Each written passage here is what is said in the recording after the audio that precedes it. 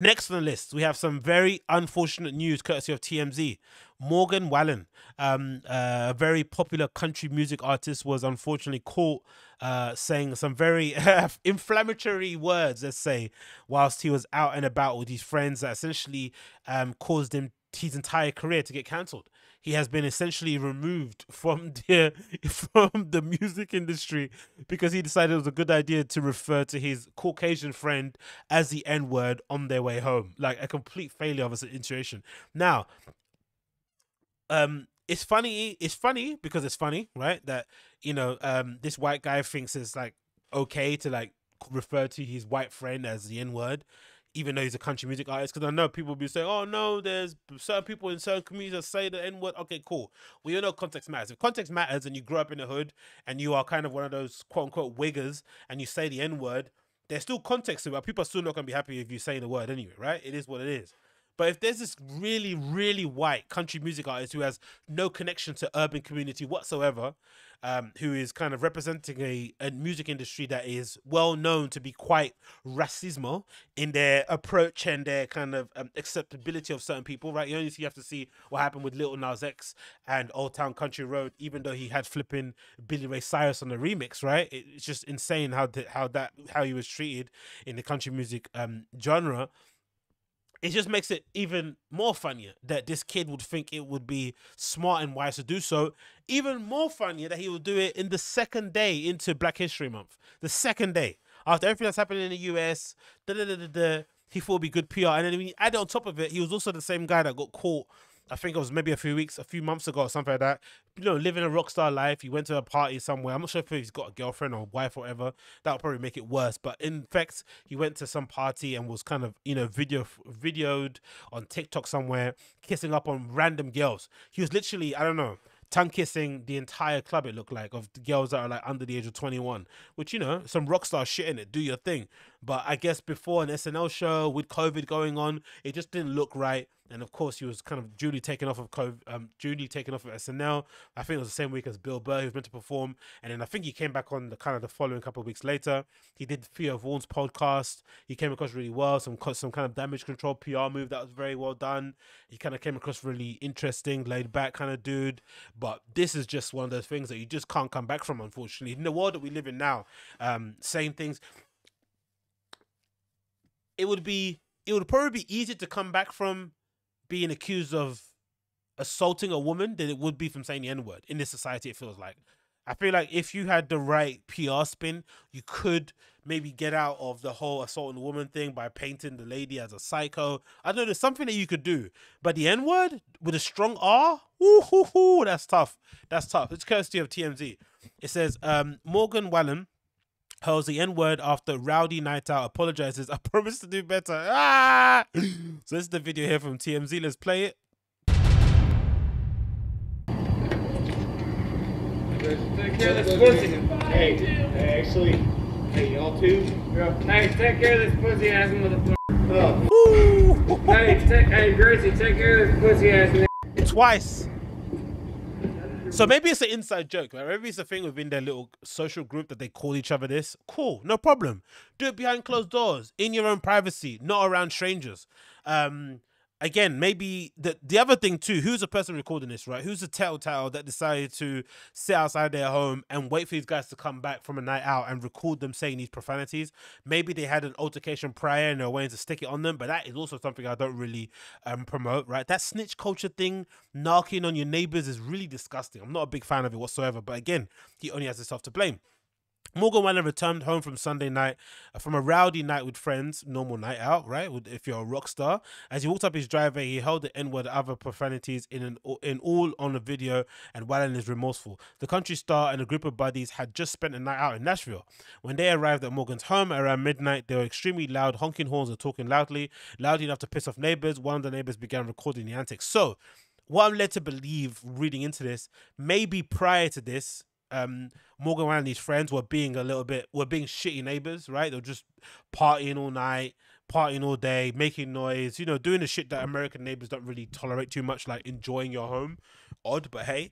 And then I'm assuming they got complaints called by the police and nothing changed. So one day, haven't haven't probably like um one random day, maybe a neighbor probably overheard them saying something mad. and like, wow, I think I heard them say the N word.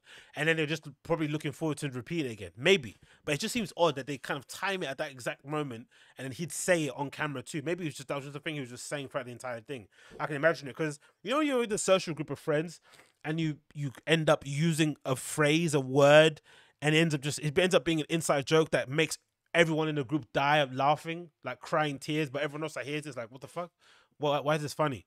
But it's just like, you know, you, you have to be there at a certain time of day, blah, blah, blah, blah. That might be to do with the N word. That might be the same thing in their group.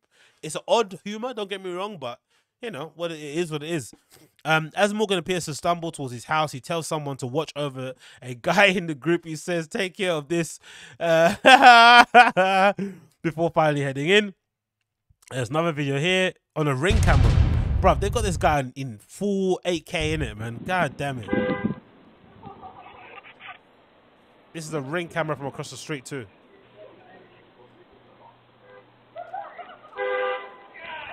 Honking horns, of course. All right. It looks like a normal, like what residential street, right? It doesn't really look like a because I think this kind of behavior might get tolerated if you live like an apartment block somewhere on the side of Miami Beach, right? Because I guess most of the occupants are never home. They're mostly foreign investors or playboys and stuff that are running around the country or the world. So mm. and you know, and they're all used to people getting up to all kind of nonsense. But when you're living on just a quiet, normal family street, you probably have to watch your P's and Q's. And if there's one thing that you can't be doing on these streets is pissing off the Karens. You have to make friends with the Karens. Make friends with the Karens, and probably should get away with saying an N-word. But the fact they didn't make friends with them and he just kind of, you know, took their kindness for weakness, they definitely ended up getting him back. Um, he continues here. The video uh, from a neighbor's doorbell cam shows the scene of Morgan uh, held the profanities and racial uh, epithet, and it's apparent why neighbors looked outside. There's another video here of Morgan Wallen um, kissing a young lady at the door. And it said the video of was recorded on Monday morning again by another same neighbor. Um, as for as for Sunday, it's unclear exactly when Morgan went, but we do know that he had made at least one stop at Luke Bryan's restaurant, 32 Bridge, where he jumped on stage for a quick performance. And then the update, I guess, was here. Morgan Wallen denounced after hurling racial slur, Radio, Sirius, label, and CMT shelve him. This is insane, isn't it? he just got binned by the entire industry. So this is the um, Morgan Wallen is feeling remorseful He's feeling immediate backlash against uh after after using the N word. Music platforms are com- dropping him left, right, and center and fellow country music artists are also condemning his behavior. The singer's music was reportedly banned from Cumulus Media overnight, which is one of the biggest video chains for the country music across the nation. The directive from the station's brass told all affiliates to scrub the anything of Morgan from Wednesday's slate of programming. The memo obtained by Variety reads Morgan Wallen extremely important. Team, unfortunately, country music star Morgan Wallen was captured on video Sunday, meaning using a racial slur um, effective immediately we ex- we request that all of morgan's music be removed from our playlist without exception more to follow Many of his own peers are decrying his use of racial slur, but there seems to be a difference of opinion whether the asset incident or a bigger problem that's coming to light. And this is a person called Maren, who's this called? Maren Morris and Kelsea Bellerin. Ballerin saying the following The news of Nashville tonight does not represent music, English country music. Another person said it is representative of the country, of our town, because this isn't his first scuffle and he has just demolished a huge streaming record last month, regardless. We all know it wasn't his first time using that word. We keep them rich and protected at all costs with no recourse. Yep, we we'd be dropped, endorsements lost, and social pariahs to music row. Um, for example, country music. Da, da, da, and I guess the latest updates as the story was developing was this country music star Rick Mickey Guyton, one of the handful of well-known black singers in the genre, just spoke her piece about the Morgan Wallen situation, and she gives some poignant insight, including an olive branch to Morgan himself. She writes, "When I read comments saying this is not who we are, I laugh because this is exactly who country music is. I've witnessed it for ten good years. You guys should just read some of the vile comments hurled at me on a daily basis. It's the cold truth to face it, but it's the truth. Yes, yeah, true. Imagine." imagine being a black um, country music star in America now, especially with the way the country is. God damn it. She's probably read some absolute horrendous stuff. But here's her tweets as well.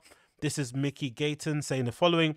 Um, I question on a daily basis as to why I continue to uh, to fight to be in the industry that seems to hate me so much. But then I realize that there is new artists of color, all bright eyed and excited to be in the industry. Yeah, this artist might not have the strength to fight for themselves, but I do, and I'll be that artist warrior for them if they pursue their dreams. I love country music so much. There are amazing people in this genre behind the scenes and in front of the cameras that have kept me sane all these years. Those are the people who we must reminding ourselves are out there and worth supporting. And lastly, I do not believe in cancel culture. Watching anyone fall from grace is a terrible thing to see. People must be given a chance to change. Morgan must feel the weight of his words, but completely throwing him someone away is detrimental to anyone's mental health. Exactly. That's what I truly believe, especially during lockdown. There is never a worse. There's never been a worse time to get cancelled than during a lockdown because everyone's on their phone. Whatever little indiscretion you do gets heightened and am- amplified because people are bored and they've got nothing else better to do. And what what is better to do than bury somebody online if you're a stranger, right? It must be it must feel good. It must feel exhilarating. But for that person that's getting cancelled, it's horrible because it seems like there's no way out of you of this of the flipping um quicksand that you're slowly being engulfed in. So there has to be some route to redemption, right? There has to be some route that he can come back in. He might have to sit this one out for a period in time because hey, it's Black History Month after all, but there has to be a way back. It continues. Another update says you can now add iHeartRadio donations of radio chains to a list of platforms. Yankee Morgan's Music iHeart announced Wednesday is pulling the plug on airing the distressed country music in the wake of using a racial slur. The spokesman of the company said he has nearly 1,000 stations in the US and said in light of Morgan Wallen's recent accusations involving use of racial slur, we have made a decision to remove his music and content from our stations immediately. Maybe a part of me thinks as well, like, can't the market just decide that he's a racist and not listen to his music? If he is or if he isn't. Like, isn't that shouldn't should that be left to the to the consumers of the music itself? Like, I don't I don't know, man. I don't really like record labels uh getting in and becoming morality police. Like, should they just go back into the archives and start listing and reading off all the names of uh, fellow artists that have spoken about domestic abuse, uh, sexual abuse, physical abuse, um, you know, cheating, whatever it may be, whenever it may be crimes. Should we do that as well? Like, how far back do we wanna do you want to go from it? Like, honestly, I don't know, man. I'm I'm a little bit I'm not really sold on this idea that they can just cancel this guy's career completely because he decided again being a black guy saying what he said you know maybe because I'm, i know country music people are like right? So i'm not surprised. It's not like oh my god a country music star has some very uh closeted bigoted opinions of people that aren't the same race as him. Like i'm not that surprised. It doesn't take it doesn't take me aback as much as it should do right? Um but also i'm not i don't really know how right or just it is for a record label to decide and pick and choose who gets a credit and who doesn't. It's already difficult enough to make an industry. Last thing you need is for a record label to decide because it's the flavor of the moment. Because again, only because we're living in the current era. If you would have said this maybe 10 years ago, it wouldn't have been a thing.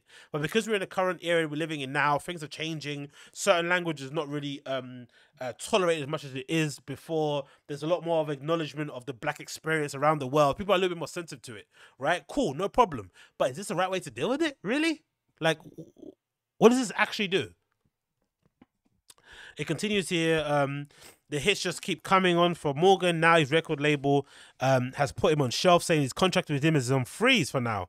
What does I say again? What record labels are always the ones to hold on to you, man. They're, they're the masters of playing the game. Uh, Big Loud, independent label based in Nashville, says in the wake of Big Loud has made a decision to suspend Morgan's contract indefinitely. They go on to say that Republic Records distributes music has fully is so suspending it. What's that mean? Until he's basically back. So he's, he's gonna go on an anti-racist course. He's probably. Do you think he's gonna get taught by that? Um, what's her name? DiAngelo woman. Right, I read that um anti-racism book. That'd be lows. Or you might go to like Starbucks training. It's unclear what indefinitely suspended contract means in the big picture, but it sounds like they're stopping short of dropping Morgan from the roster, just putting a music biz of his on pause. It's true. Because he's big money, man this Morgan Wallen guy gets some really, really big streaming numbers. I checked his Spotify and he's no, he's no joke. So they definitely don't want to take him off completely because that's going to hurt their pockets. CMT, Country Music Television, is also putting the plug on him, saying they're removing any appearance of, uh, of Morgan on the platform as it turns stuff like. It's like, come on, guys, man, really, come on, man, come on. I don't know. Let the market decide, innit? Um, that's my thinking. This kind of uh, a, spokesperson for SiriusXM tells TMZ the satellite radio station has pulled its content from SiriusXM as well. Jesus Christ. A spokesman from MS Communication tells TMZ he's Yankee Morgan's music from.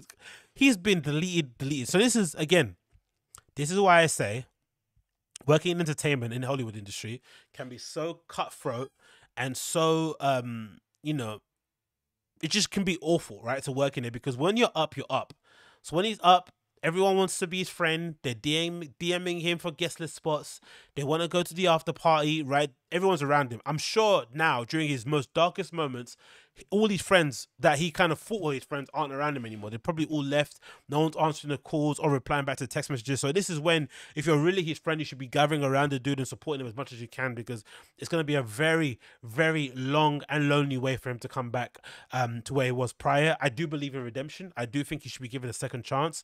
I think the idea that record labels can decide um, who shouldn't be having a career and who should, considering the amount of other country music artists that have come prior to Morgan Wallen who have said and done much worse in the industry, on record, outside the industry, and weren't very and weren't punished to this extent is laughable. But hey, it is what it is. And again, if you're his friend, support the dude, rally around him. But I think overall, deleting the guy from the music industry completely is not going to solve the problem. And if tomorrow, you know, it transpired, you know, knock on wood, that doesn't happen. But if you hear a story of him, you know, unfortunately, um, self deleting how bad will everyone else feel that they've kind of driven him to this extent because they decided to pull away his one thing that was holding him together during these dark times. Let, but let me know in the comments below. Maybe I'm being too forgiving. Let me know what you think about Morgan Wallen um, getting cancelled for hurling the N word at somebody who isn't black during after on the way to an after party.